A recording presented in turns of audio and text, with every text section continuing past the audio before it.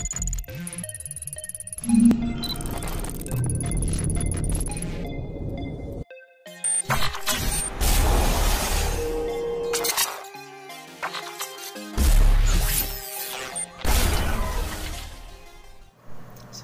hi guys, welcome back to my vlog. Ang topic for today is Avaya.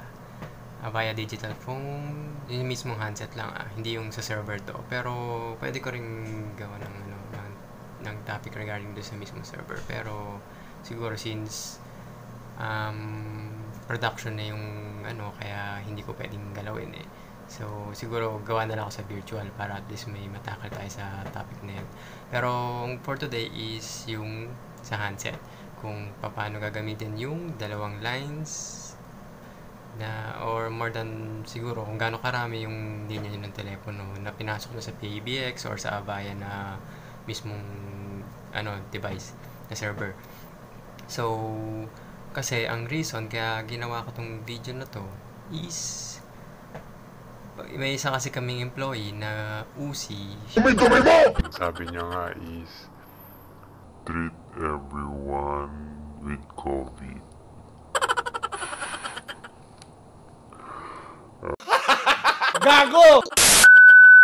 Siyempre, medyo dahil due to COVID, yon ayaw na, ayaw niya magpapasok. Siyempre, social distancing daw. Ayaw niya magpapasok doon sa kwarto niya.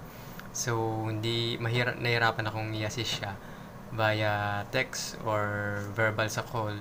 Lalo na, syempre, hindi mo siya malapitan para mismong ituturo mo sa device mismo. Pero, kaya ginawa ko yung video para at least papakita ko sa kanya kung paano ito gawin para mas madali sa kanya syempre since real time pag video so yun guys ang topic lang muna for today is yung gagamitin ng mga multiple lines syempre pagka for example sa kahit sa PABX uh, may trunk line ka then may, so for example is may 8 lines ka so pwede mo gamitin yung 8 lines na yun pero syempre kung marami kang gumagamit kunyari yung 8 lines na yun gumamit is apat. So, apat na lang available. Siyempre, depende naman sa situation. Pero, for today, yun lang muna. Yung multiple lines. Although, marami pa namang features syempre sa handset ni Avaya. Hindi lang naman sa Avaya. Actually, meron din ibang devices. Pero, since Avaya is topic for today, papakita ko sa inyo kung paano yun. Yung the other feature, siguro, i-ano ko na lang sa ibang part ng video. So, parang lumalabas is this one is for Avaya part 1. Yun. So, yun guys. Pause ko lang muna para pakita ko po yung video. Okay. Ito yung video tutorial for Avaya. Lilipat tayo ng gagamitin natin dalawang linya. So, okay. First is, tawagin natin 670.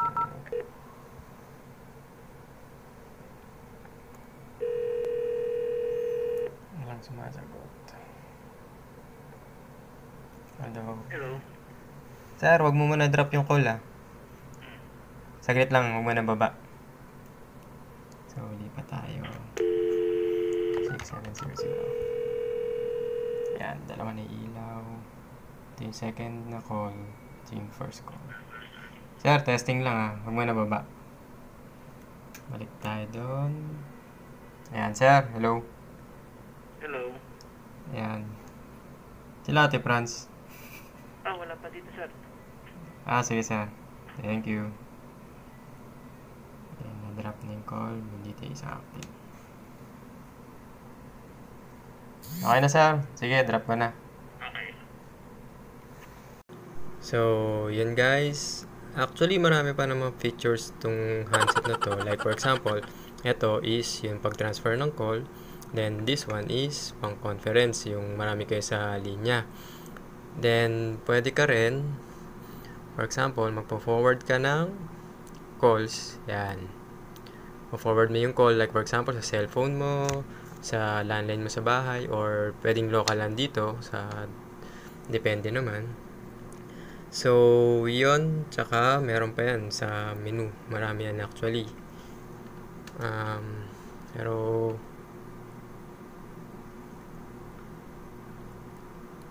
yan. Tapos ito yung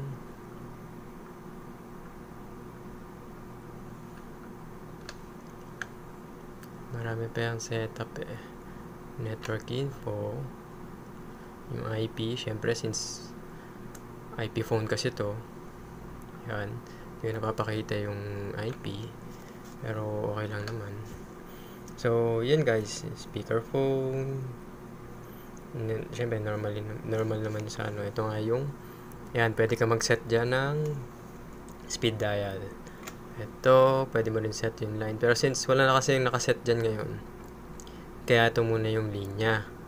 Pero pwede mong galawin niya sa server kung gusto mong mag-speed dial. Then, pwede mo rin pick upin yung call.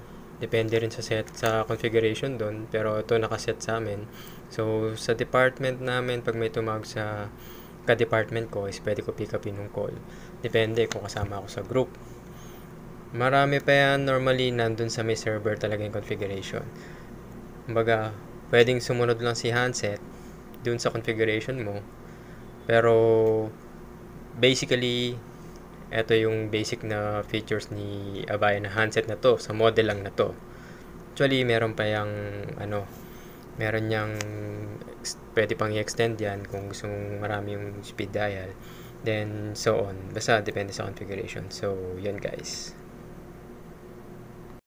Nga pala, ito yung sinasabi ko na module. Ito yung iduduktong mo dyan para marami kang speed dial or yung sa trunk line. Depende naman sa configuration. So, ito siya. Yan. So, yan guys. Mukhang successful naman. Um, kasi kanina is naka-conference call sila. Um, narinig ko since naka-loudspeaker is naka ilang beses eh na yung background music. So, ibig sabihin, hino-hold niya yung line. So, ibig sabihin, pag nag-outgoing call siguro siya sa client, is hino-hold niya syempre yung conference call. So, yun. Um, remind ko lang is, hindi lang abaya syempre ang mga na, mga devices na ano, like syempre, yun, is handset lang ni Abaya, yung pinakita ko sa video. Marami pa namang features yun sa handset na yun, depende naman sa model, syempre. Then, syempre, sa, sa ibang brand din. Like, for example, meron tayong PBX na Panasonic, then na analog and syempre digital, then asterisk, then and so on, meron pa iba. So, meron din tayong soft phone na, for example, yung si X-Lite, yung nasa PC, pero pag gano'n setup, syempre, VoIP yun, i-connect mo sa, yung VoIP mo sa LAN, LAN network. Syempre, para at least, magamit mo, syempre, nasa PC mo yung, ano eh, software eh, para makatawag ka. Depende naman sa setup. Ayun. So, mukhang okay naman guys. Um, mukhang kasi kanina, nakailang tawag siya siguro. Going out, outgoing, outgoing calls. So, yun guys. Um, hit the like button, comment on the section below, then click the subscribe button, then click the notification bell. So, thank you guys.